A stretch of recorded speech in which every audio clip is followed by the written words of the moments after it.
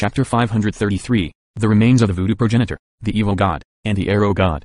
The ores of the Ka Deng, and the woman Sen Yi Ayu had only been exposed because the power of frost had suddenly invaded their bodies. Dense ores surrounded each of them. Powerful earth radiated from the sharp metal from Ka Deng, and gentle water from Ayu. The demon sealing tombstone had been hanging high above Jia Yu's head, searching for the ice spirit in order to seal it. Since the ice spirit had taken over Jia Yu's body, hijacking her soul, the demon sealing tombstone was confused. At this time, the aura of the earth, metal, and water spirits were clearly exposed. And the demon sealing tombstone suddenly had targets. The demon sealing tombstone that originally sought to seal the ice spirit immediately changed targets. It moved away from Yu, turning its focus to the earth, metal, and water spirits. A terrifying change came over Dif, Ka Deng, and Ayu. These three had been in different places, but at this time, they started moving. These three barbarians in the nether passage realm actually flew through the air, becoming gold, yellow, and white lights that shot toward the center of the frozen lake. The demon sealing tombstone followed behind them. Above the lake, the bloody bone dragon continued to howl mournfully. The body of the blood progenitor still sat atop its skull, giving off an intimidating ruby light. At this time, Qin Lie's group was approaching the frozen lake from one side. Yi Hao, Huang Zilai, Feng Yu, Yu Men, and Su Yan were on the side opposite to them. Since half of them had died, the eastern barbarians had scattered and were now fleeing in every direction. Crick. Crack. Jia Yu's eyes were an icy blue. She twisted her neck, and her joints resounded with satisfyingly crisp sounds. Jia Yu, whose soul had been taken over by the ice spirit, didn't so much as glance at the tribesmen around her. Once the demon sealing tombstone departed, she turned into an icy light and left for the frozen lake as well. Snap. Soon after Jia Yu left, the ice around Jiayu exploded, and he calmly emerged from the resulting frost. The white barbarians around him were not so fortunate. Their souls had been frozen to death. Jiayu silently headed in the direction Jiayu had gone, a frown on his face. Dot. Look. Du Xiang Yang shouted. Down at the bottom. The bottom of the lake. Feng Yi shouted as well. Look at the bottom. Having suppressed their earlier panic, the eastern barbarians gathered at another side of the lake. They had strange looks in their eyes as they peered into its depths. The surface of the frozen lake had completely shattered by this point. It seemed to have been the ceiling of another world. That ceiling had cracked, and now the land of buried gods that lay within the frozen lake was exposed. Below the cold white mist within the frozen lake, a desolate, endless plain came into view.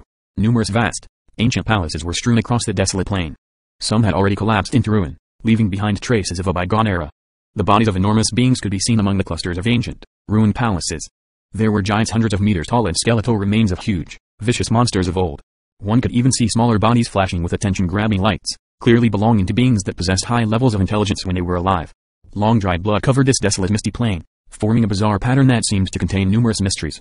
Bodies belonging to warriors of varying races and ferocious beasts lay scattered throughout the plain, leaning against the crumbling walls of ruined palaces or half buried in the ground. All of them looked strange. Piled at the top of a tower of a specific palace, high up in the air, were eight enormous heads. The eyes of these heads glared at the demon sealing tombstone, shocking godly light emanating from them. The heads of the god corpses. Feng Yi shouted. Eight headless god corpses had broken through the wards in the depths of the land of chaos's major oceans. Their missing heads sat at the top of that tower. The heads of the eight god corpses resembled blazing suns that radiated blinding hot light. Dense power shot from the eyes of these heads, forming rays of light that shone on the demon sealing tombstone. Illuminated by these rays, the demon sealing tombstone gave off a terrifying, baleful presence. All of a sudden, Yi Hao saw the body of a man shrouded in pitch black light. It lay there silently as he examined it, and he couldn't help but shout, the progenitor. That's the body of the progenitor. The voodoo insects of him and Huang Zilai didn't bother waiting for orders, immediately flying into the air. The eight-winged centipede queen and a black crystal sky scorpion howled as they shot down into the desolate plain and toward the man's body. Jiayu, having followed Jiayu to one edge of the lake, also yelled out in shock. The evil god? Deep within the desolate plain, the body of a man clearly from another race rested in a half-crouched position. His body was around a hundred meters tall, and his skin was bluish-brown. He also had a gigantic pair of wings on his back and curved horns on his head, and his body exuded a seemingly endless evil aura. The sun-killing bow. That's the arrow god. Sen Yi cried out, eyes shining with an intense light. He was looking at an eastern barbarian with a relatively normal appearance. It was a man that, despite his mummified state, appeared to be about 50 years old. He silently sat in the middle of a ruined palace's round altar, holding a bow covered in complex patterns. As expected. Luo Chen exclaimed, his eyes growing feverish. This is the land of buried gods. The desolate plain at the bottom of the frozen lake stretched across a vast area, multiple rundown palaces protruding from its earth. The bodies of the voodoo progenitor, the evil god, and the arrow god, the ancestor of the eastern barbarians, could be seen. In addition to that, the heads of the eight god corpses were visible atop the tower, and the bodies of giants and skeletons of ancient beasts littered the area. This sight made the martial practitioners gathered around the lake become excited. They wanted to charge down immediately and gather all of these remains. Remains of the strongest existences of bygone eras were the most precious spirit materials in the world. They could be used to forge the strongest spirit artifacts, or one could directly absorb the potent power left within them. In the hands of certain people, Particularly special remains in perfect condition could even be made into someone's second body. If Blood Fiend sect or Black Voodoo sect could obtain the remains of their respective progenitors and refine them, they would immediately become terrifyingly powerful weapons. Qin Lie. Du Xiang Yang screamed. The excitement welling up inside of him made it difficult for him to control himself. Song Tingyu, Wu Chen, Pan Kaienkian, Zi Jingsun, and Zhu Moyin were excited as well, their hearts beating wildly. Just as the rumors claimed, the land of buried gods held the remains of the strongest beings from ancient times. This realization brought intense gazes to everyone's faces. Sen Yi and the Scarlet Barbarians, as well as Yi Hao, Huang Zilai, Feng Yu, Yu Men, and Su Yan, couldn't restrain themselves any longer. At this moment, they were already sliding down the sides of the frozen lake to the desolate plain. Luo Chen and the others looked at Qin Lie. They desperately wanted to rush down there too. Wait. Qin Lie shouted, shaking his head. Everyone stared at him in surprise. They had no idea what he was making them wait for. The demon sealing tombstone is currently searching for the remainder of the seven spirits, and the ice spirit has yet to show itself, Qin Lie said. The land of buried gods. It may have other strange elements we aren't aware of. Qin Lie's group looked down into the lake and realized that Deef, Ka Deng, and Aib, all of whom had reached the lake before everyone else, were nowhere to be seen. Even Jia Yu had disappeared without trace. Only the demon sealing tombstone remained, floating high above the land of buried gods and absorbing power from the eyes of the eight godheads.